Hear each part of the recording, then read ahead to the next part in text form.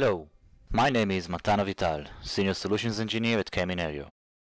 In this video I am going to show how VMware's SRM Site Recovery Manager works with the SRA Storage Replication Adapter of the Kaminario K2 All-Flash Array.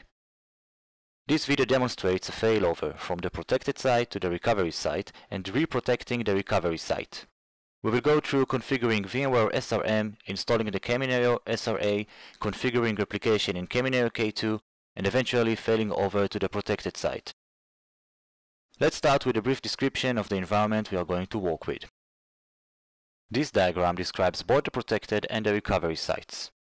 In each of the sites we have a VMware vCenter 5.5 server and a VMware SRM 5.8 server for managing a vSphere 5.5 cluster of two hosts. A Kaminario K2 system is located in each site. The K2 of the protected site hosts the data stores of all the virtual machines. The virtual machine's data stores will be created automatically on the recovery K2 when starting the replication session. The SRM environment in this demo is already configured with a protected site paired to the recovery site, inventory mappings, and a placeholder volume hosted by the K2. The Kaminario SRA is not yet installed, and there are no protection groups nor recovery plans configured. We will set the Kaminario SRA, protection groups and the recovery plan shortly. To install the Kaminario SRA, simply use the Kaminario installation wizard.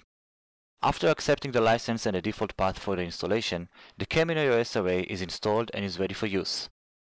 The same installation process needs to be done on the SRM server in the recovery site. After installing the Kaminario SRA, we need to refresh the SRM in both sites so it will recognize the Kaminario SRA. After rescanning for new SRAs, the SRM GUI shows that both SRAs were found and that they are communicating with each other.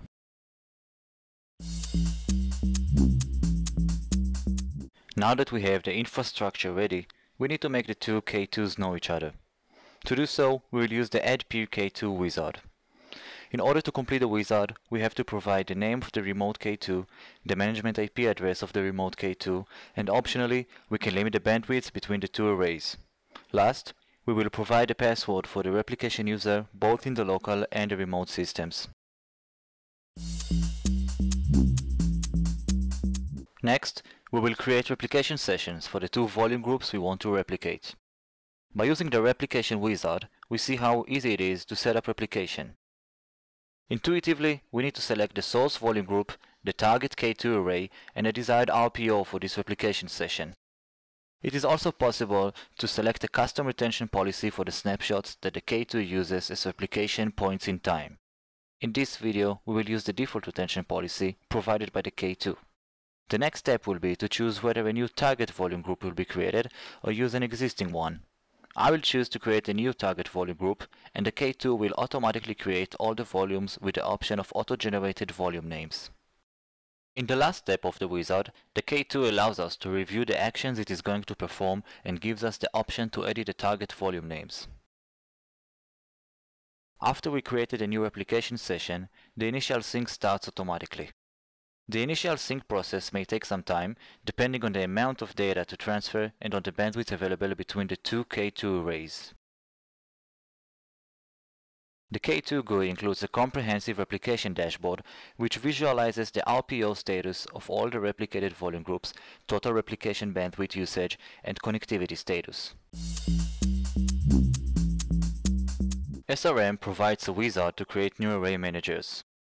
The wizard shows an overview of the configuration we have and then asks us which SRA to use. In this demo, the Kaminario SRA is the only available SRA. Next, we will provide the K2 IP address and the credentials for each site and finally enable the array managers. After enabling both array managers, a discovery process starts automatically and both array managers search for any replication sessions between the two K2 arrays.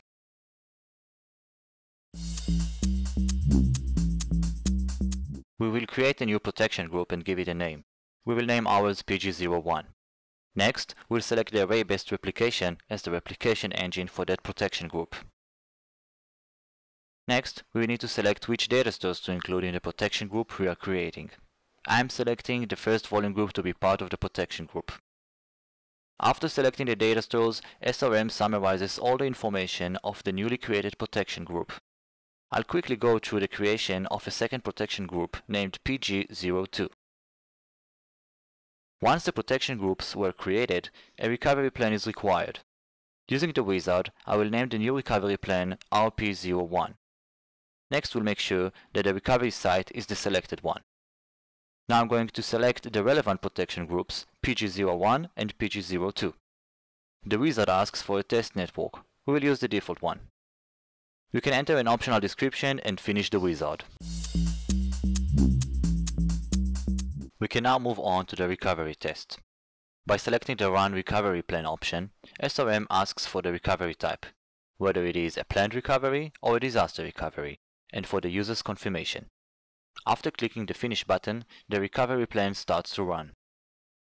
After all the steps of the recovery plan have completed, the K2 replication sessions are suspended and all changes are updated in the recovery site only. In order to complete the recovery, a reprotect operation is needed in order to reverse the replication and resume it. Before we start the reprotect operation, let's review the K2 current state. In the original recovery site, the K2 replication sessions are failed over. In the original protected site, the K2 replication sessions are suspended. To start the reprotect operation, click on the reprotect recovery plan option. After selecting the checkbox, we can click the next button and complete the wizard to start the reprotect process itself. After the reprotect process is completed, we can verify in both Kaminario K2 arrays that the replication is in sync and reversed.